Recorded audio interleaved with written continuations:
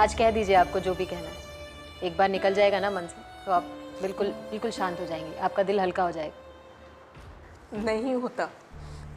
क्योंकि वो दर्द जो है नासुर बन चुका वो नहीं होता। पानी ग्रुप ऑफ़ इंडस्ट्रीज़ का एनुअल टर्नओवर है। तीन हज़ार करोड़। कल्पना सरोज ने तरक्की के हर मुकाम को छुआ। और आज इनकी कंपनी में हज़ारों लोग काम करते हैं। इतनी सफलता इतना नाम। इतनी शोहरत। ये सब इनको विरासत में नहीं मिला है। ये सब इन्होंने कड़ी मेहनत से कमाया है। आज की इस सफल बिज़नेस वुमेन का कल कुछ ऐसा था।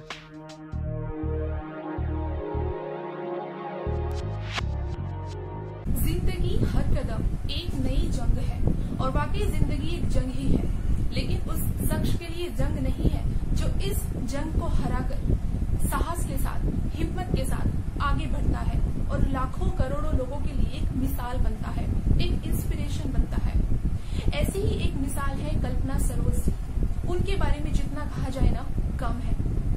दो रुपए कमाने वाली सरोज जी आज की डेट में सालाना तीन हज़ार करोड़ कमाती है। आपको क्या लगता है, कितना कठिन और कितना मुश्किल रहा होगा उनके लिए? एक वक्त था जब वो एक दिन का दो रुपया लेती थी। सोचो कितना कठिन परिश्रम, कितनी मेहनत करके वो आज इस मुकाम पर पहुँची है।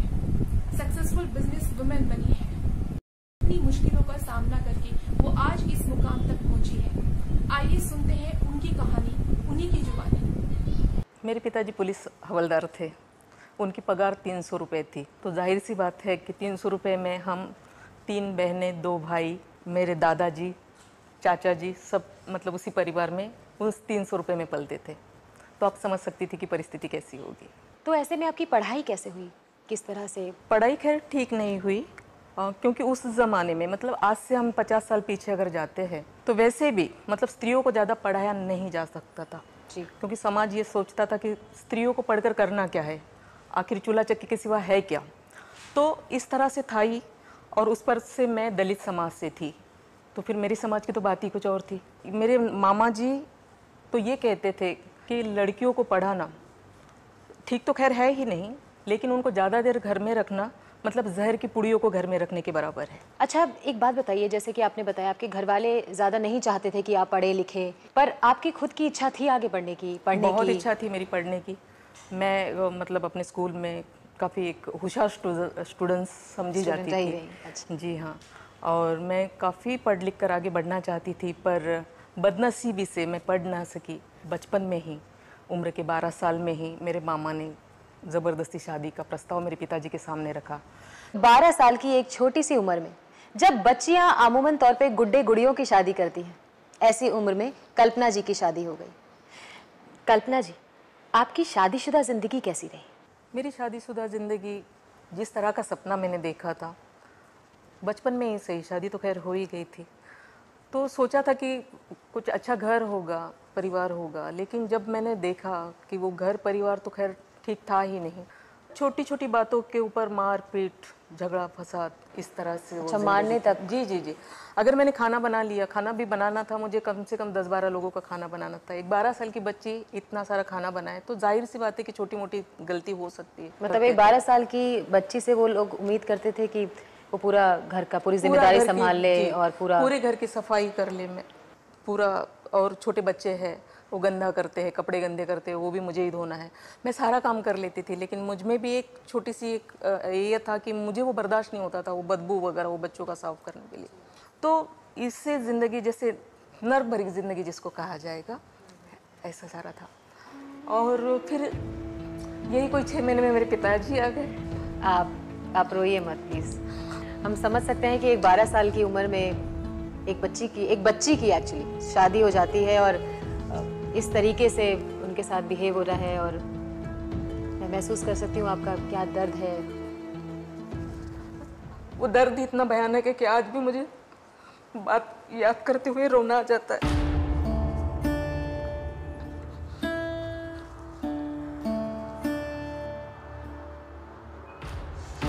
आज कह दीजिए आपको जो भी कहना है। एक बार निकल जाएगा ना मन से तो आप बिल्कुल बिल्कुल शांत हो जाएँगे। आपका दिल हल्का हो जाएगा। नहीं होता। क्योंकि वो दर्द जो है नासुर बन चुका वो नहीं होता। क्या बर्ताव करते थे वो लोग आपके साथ मतलब? एक बच्ची को डराया जाएगा धमकाया जाएगा मारा पीटा जाएगा तो इससे बुरा और क्या दर्द हो सकता है? बताइए ना आप मुझे। तो मेरे पिताजी जब मुझे मिलने के लिए आए, देखने के लिए। उन्होंने जब देखा तो मेरे पिताजी मुझे पहचान ना सके कि ये मेरी ही बेटी है, क्योंकि बाल की सारी जटा बन चुकी थी, कपड़े फटे पुराने थे। मार खा खा के बिल्कुल मैं मेरी हालत खराब हो चुकी थी।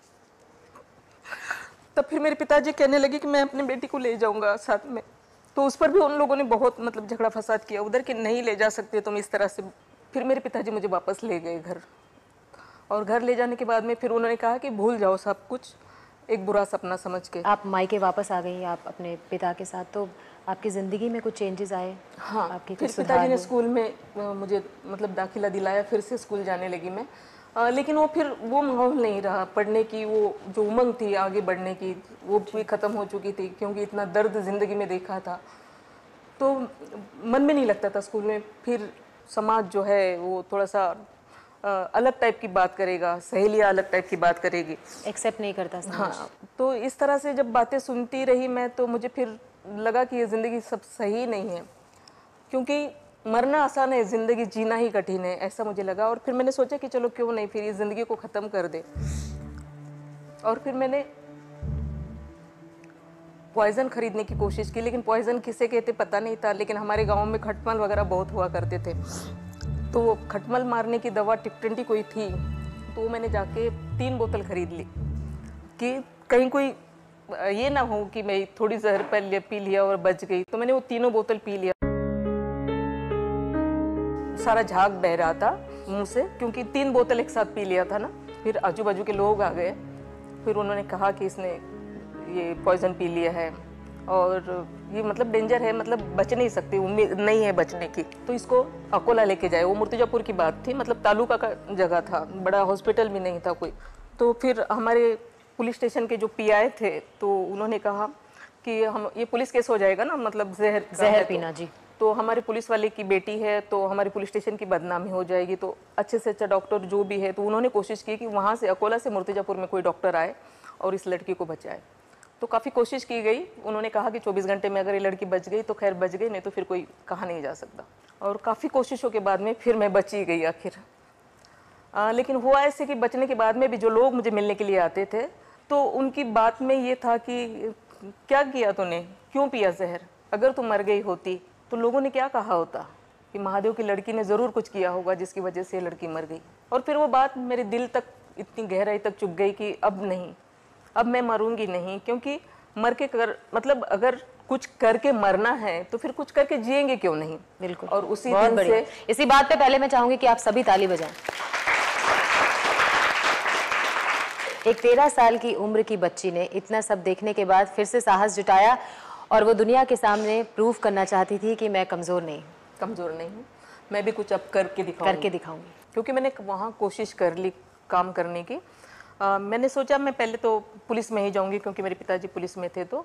और उसी वक्त लेडीज़ पुलिस की पहली बारी मतलब वहाँ पर भर्ती शुरू हो गई थी। तो मैं खुद वहाँ के एसपी के पास गई और उनको मैंने कहा कि मुझे मतलब पुलिस में भर्ती करवा लो। तो उन्होंने देखा कि मेरी तो उम्र भी कम है अठारह साल की उम्र नहीं। Okay. और पढ़ाई भी मतलब सिर्फ़ सेवन क्लास था। हाँ। तो फिर उन्होंने कहा कि बेटा तुम एक काम करो तुम मैट्रिक पास कर लो फिर मैं तुमको डायरेक्ट पीएसआई बना दूँगा। ठीक है? और ऐसा करके उन्होंने जाने के लिए कह दिया। मैंने नर्सिंग के लिए कोशिश की उसमें भी नहीं हुआ। लास्ट में लास्ट मैंने ये भी सोचा कि क्यों नहीं मैं मिलिट्री में चली जाऊँ तो अपने देश के काम आ जाऊँगी। बिल्कुल।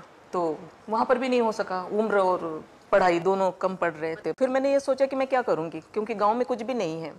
और ना कोई कंपनी है ना कुछ है। अगर कुछ है तो फिर वो खेती में काम करना होगा। और खेती में मुझे काम नहीं करना था।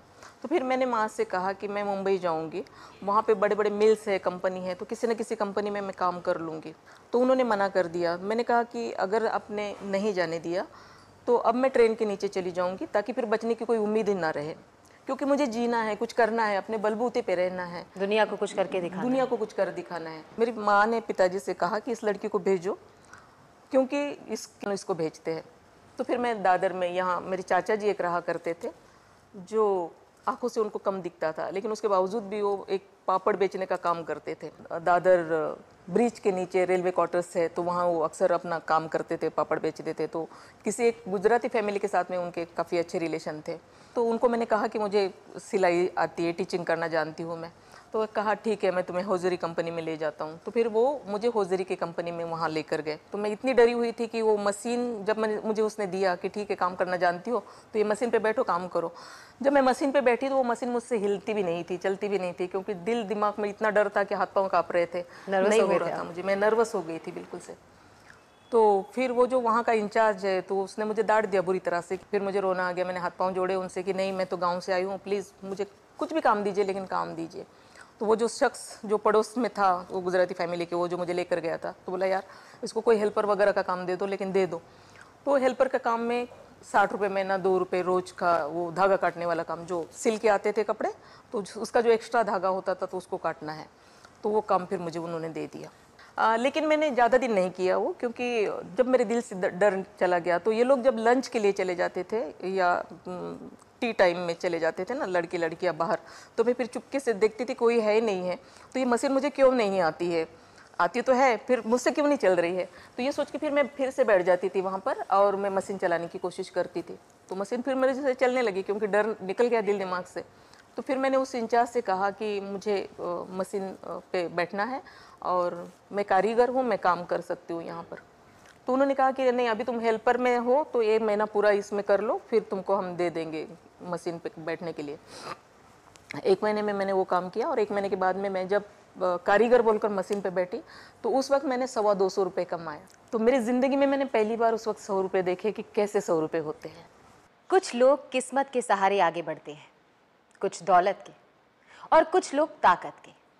पर सबसे आगे वही निकल पाते हैं, जो मेहनत के भरोसे आगे बढ़ते हैं। सिर्फ़ दो रुपए रोज का कमाने वाली एक लड़की आज तीन हज़ार करोड़ की मालकिन है। ये सब हुआ कैसे?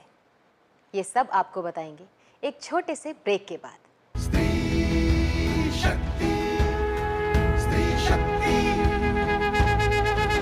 जैसा कि आपने बताया कि यहाँ आकर आपने सबसे पहले कमाई सिलाई से की तो उसके बाद आप आगे कैसे बढ़ी? जब मेरे परिवार का एक बोझ नहीं कहा जाएगा फ़र्ज़ कहा जाएगा जिसको क्योंकि मैं बड़ी बेटी थी तो मेरे माँ बाप मेरे बहन भाई तो मेरा फ़र्ज़ बनता था कि मैं उनके लिए कुछ करूँ। तो इसलिए मैंने उन्हें मुंबई बुला लिया यहाँ पर। तो घर में मैंने एक मशीन भी ले लिया। तो मैं घर में भी सिलाई शुरू कर दिया मैंने। घर में कुछ ब्लाउज़ बना लेती थी, कुछ ड्रेसेस बना लेती थी, क्योंकि मैंने वो सीख चुकी थी मैं गाँव में ही। और काम पे भी जाती थी। इसी बीच मेरी एक बहन थी जो बीमार हो गई। छोटी मोटी दवा कुछ करते रहे उसकी। लेकिन फिर पता चला कि नहीं, वो पेट में जो है वो कैंसर हो गया था। तो इतना बड़ा तो इलाज मैं कर ही नहीं सकती थी, सवाल ही नहीं उठता था। तो मैंने काफ़ी कोशिश फिर भी की कि जो भी बचता है उसके लिए मैं कुछ करूँ। तो काफ़ी तकलीफ़ उस वक्त हुई, जब मेरी बहन वो मर गई तो तब मैंने सोचा कि पैसा कितना ज़रूरी होता है। हो सकता है कि मेरे पास, उस वक्त मैं नहीं जानती थी कि वो कैंसर मैं बिठा सकती थी कि नहीं, लेकिन मुझे ये एहसास ज़रूर हो गया था कि मेरे पास पैसा ना होने की वजह से मैं उसका इलाज नहीं कर सकी। तो फिर मैंने सोचा कि नहीं, पैसा बहुत ज़रूरी है, अभी हमको पैसा चाहिए। तो पैसा कमाना है, कैसे कमाएँगे? तो फिर मैंने बहुत सोचा तो मैंने सुना था कुछ, गवर्नमेंट को स्कीम है, उसमें कुछ लोन मिलते हैं। तो मैंने उस लोन के बारे में सुना, लेकिन मुझे पता नहीं था कि किस तरह से डॉक्यूमेंट बनेंगे, किस तरह से लोन लिया जाएगा। माँ ज्योतिबा फुले जो गवर्नमेंट की स्कीम होती थी जो मीन्स जो दलित लोग हैं, उनके लिए वो था। तो वो मुझे वहाँ पर लेकर गए और मैंने वहाँ पर लोन लिया। आपको लोन मिल गया? हम्म। तो लोन के बाद फिर आपने उस पैसे से क्या किया? मैंने उस वक्त उसका एक फर्नीचर का दुकान ले लिया मतलब दुकान भाड़े से लिया और फर्नीचर का शुरू किया। बुटीक का तो मैंने सोचा घर में दो तीन मशीन भी डाल दूँगी तो घर में ही चल जाएगा उसके लिए दुकान की ज़रूरत नहीं पड़ेगी। क्योंकि वहाँ उल्लासनगर में ऐसे था ना कि वहाँ पर आ, कुछ आ, फर्नीचर बनता है। फर्नीचर मार्केट में। तो जैसे गोदरेज के कपाट हुआ करते थे वहाँ पर तो जैसे गोदरेज का कपाट अगर हम लोग लेने जाते थे तो छः सात हज़ार में मिल जाता था। लेकिन वहाँ उल्लासनगर में डेढ़ दो हज़ार में मिल जाता था और मार्जिन भी बहुत अच्छी मिलती और लोग आसानी से ले लेते मतलब मार्केटिंग अच्छी थी। तो उस वक्त मैंने इस तरह से सोचा और मैंने फर्नीचर का उसके साथ में स्टार्ट किया। तो अब ये बताइए कि फर्नीचर के बिज़नेस से आप रियल स्टेट में कैसे आ गए? एक लिटिकेशन में एक प्लॉट था कल्याण में। तो लिटिगेशन ऐसा था कि उसके ऊपर गवर्नमेंट का कुल सीलिंग सारे एक्ट लगे हुए थे। वो मुझे बाद में पता चले, पहले तो नहीं था। तो वो प्लॉट का जो मालिक था, वो फिर मेरे पास में आया कि, मैडम, हमारी ज़मीन है, ये बेचनी है तो आप इसको ले लो। तो वो लेने के लिए मेरे पास तो पैसे नहीं थे। ढाई लाख रुपए में वो बेच रहा था। तो ढाई लाख रुपए मैं कहाँ से उसको दूँगी? तो उसने कहा कि, मुझे एक लाख रुपए भी अभी मिल जाते हैं तो मतलब मेरा काम चल जाता है। बाकी के बाद में भी देंगे तो चलेगा। तो मैंने यहाँ वहाँ से करके उसको कैसे भी एक लाख रुपए दे दिए और वो ज़मीन जो है वो मैंने अपने नाम पे ले ली। लेने के बाद में जो सात बारह होता है तो मुझे नहीं पता है वो था कि सात बारह किसे कहते हैं। तो पहली बार उसने दिखाया ये सात बारह है। तो तब पता चला कि उसके ऊपर कुल सीलिंग सारे एक्ट लगे हुए हैं। मतलब बेच नहीं पा रहा था। मतलब वो ज़मीन जो थी वो डिस्प्यूटेड हाँ ऐसे। मैंने डेढ़ साल तक उसमें मेहनत की वो कूल और सीलिंग निकालने के लिए। जब वो कूल और सीलिंग निकाल दिया तो उस ज़मीन की कीमत ढाई लाख से पचास लाख हो गई। मतलब इनके साहस ने एक ढाई लाख की ज़मीन को पचास लाख का कर दिया। कमाल है।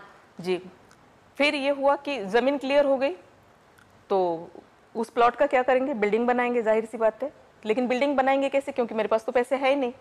तो फिर मैंने एक पार्टनर को चुना। सिंधी पार्टनर थे मेरे। उनको मैंने कहा कि ठीक है ये ज़मीन मेरी है और बनाना आपको है। तो कैसे परसेंटेज रहेगा? तो 65 परसेंटेज उनके थे और 35 मेरे थे। इस तरह से हम लोगों ने वो बिल्डिंग बनाई और उस बिल्डिंग में मैंने करीबन साढ़े चार करोड़ रुपए कमाए। अरे वाह। तो इस तरह से मैं अ, मतलब सीढ़ी दर सीढ़ी आगे चलती रही। बहुत मज़ा आया आपका सफ़र सुन के लेकिन अब एक एक सीक्रेट से आप एक एक पर्दा हटाइए कि आप कमानी ग्रुप ऑफ़ इंडस्ट्रीज़ की मालकिन कैसे बन गई? कमानी के जो लोग थे 2000 में अ, मेरे पास आए। तो उसमें भी काफ़ी सारे लिटिकेशंस थे। जब लिक्विडेशन में जा रही थी तो उसका भी बड़ा ऐसा इतिहास रहा है क्योंकि हमारे देश की ये पहली ऐसी कंपनी है जिसको सुप्रीम कोर्ट ने पहली बार वर्कर को चलाने के लिए दी मालिक को ज़ीरो कर दिया और वर्कर को मालिक बना दिया। ये हमारी देश की पहली कंपनी ऐसी है। और ऐसी कंपनी को वर्कर चला नहीं सके अ, क्योंकि वर्कर वर्कर होते हैं आखिर। साढ़े तीन हज़ार मालिक अगर बन जाए तो काम कौन करेगा? ये भी एक बड़ा सा सवाल था। अ, लेकिन सुप्रीम कोर्ट ने तो कुछ अच्छा ही सोच के इन लोगों के हाथ में दिया था कि ये लोग चला लेंगे लेकिन नहीं चला पाए।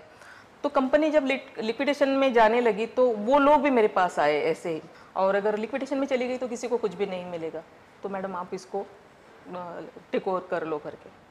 तो मैंने बहुत सोचा कि मैं कैसे कर सकती हूँ।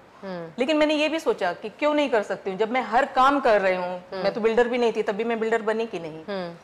तो हर नया काम मेरे लिए एक, एक नया चैलेंज था। तालियाँ।